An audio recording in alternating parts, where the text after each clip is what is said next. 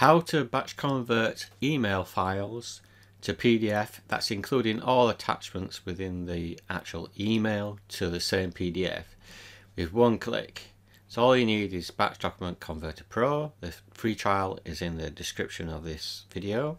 So all you do is you say normally we double click on the email to open it and you can see this email has an email within an email and it's got attachments and it's also got a zip file with other files within that as well. And you can have multiple level emails. It can handle any number of levels.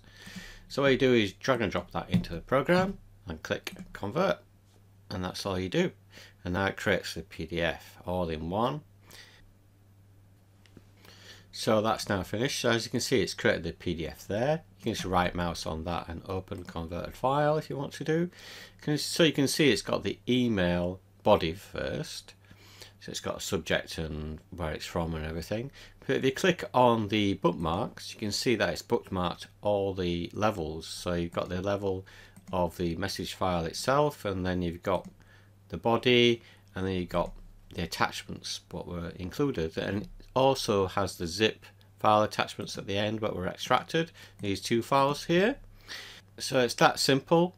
Literally, it's drag and drop, one click, convert. You can also do hot folder monitoring in this software and many other things. Give it a try.